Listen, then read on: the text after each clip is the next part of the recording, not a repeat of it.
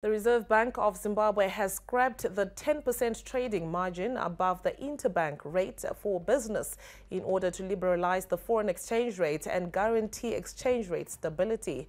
Economists say this is a good move for business, especially the retail sector, but for consumers, it's a different story.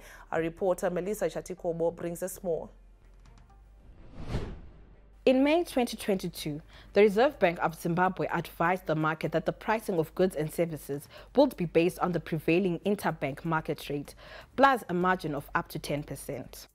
This limit has been scraped off and business is now allowed to set its own exchange rates.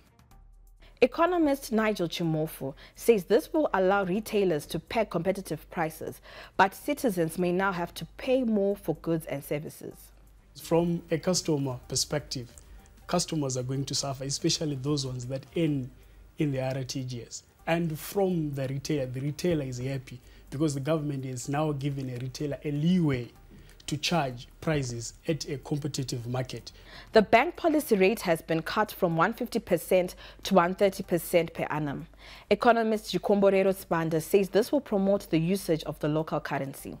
The, the, central bank is just trying to encourage or to lower the cost of borrowing in local currency to, to business. With effect from 1 November 2023, foreign currency retentions on exports shall be standardized at the level of 75% across all sectors of the economy.